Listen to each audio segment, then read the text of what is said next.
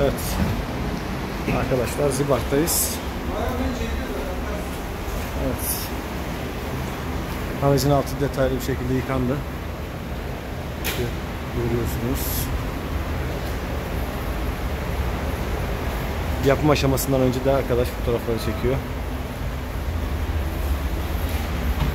Evet, korumaların hepsi söküldü arkadaşlar.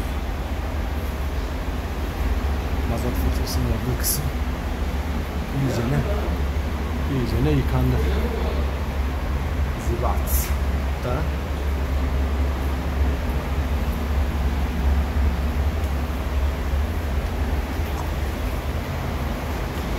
Daha sonra atılacak zibartın kendi malzemesi araca zarar vermesin diye şöyle bir özel bir köpükle aracı kapladılar ki boyaya zarar vermesin diye. Daha sonra bu yıkamayla çıkıyormuş arkadaşlar bu şekilde.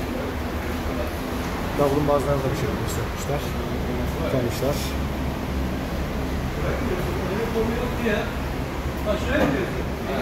Her taraf samunla kaplandı arkadaşlar görüyorsunuz. Abi indirebilirsin sıkıntı yok. Tamam.